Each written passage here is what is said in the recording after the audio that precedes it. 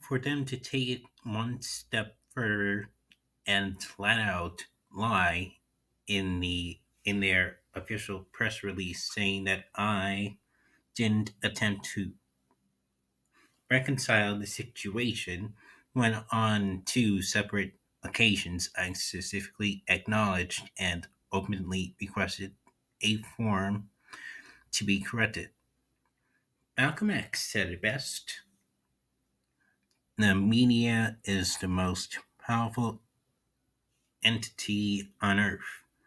It will have you hating the people being oppressed and loving on the people doing the oppressing, making the innocent guilty and the guilty innocent. My hope and original goal was to use this moment to show healing and acceptance and prayed that Viacom would use their powers for good. Instead, I am now receiving death threats, hate messages, and calling me an ungrateful nigger and beyond.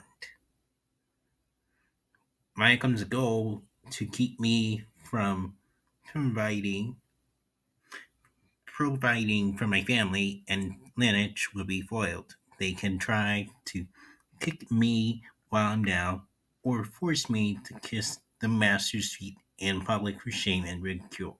But instead, I stand firm on my square with my fist in the air, reheating my mantra you can't fire a boss. A pleasant turn of events and the best blessing in all of this hurtful attack is the outpouring love and support from the Jewish community. It has been amazing. I have spoken with many rabbis, clergy, professors, and co workers who offered their sincere help. I must apologize to my Jewish brothers and sisters for putting them in such a painful position, which was never my intention, but I know this whole situation has hurt more people, and together we will make it right.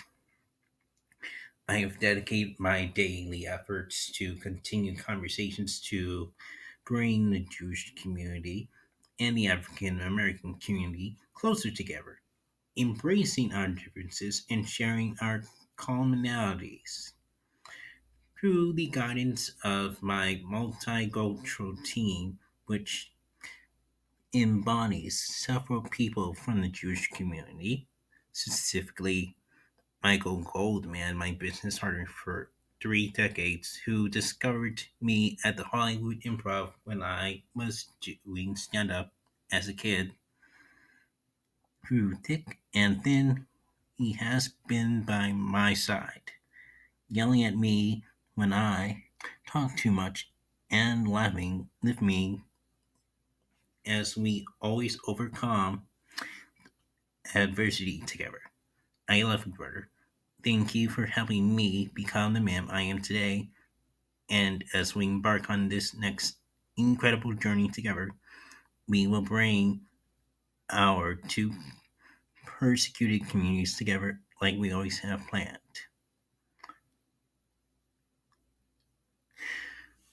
Well,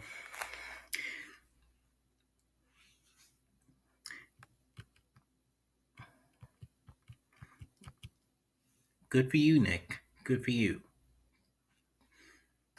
But I still don't understand why you need to go on a rant and try to disown Viacom. Just remember the fact that Viacom CBS owns at least half of what you created. Okay? Let that sink in for a second. Wild Out, and plus a bunch of other shows he created for Viacom CBS, is owned by Viacom CBS.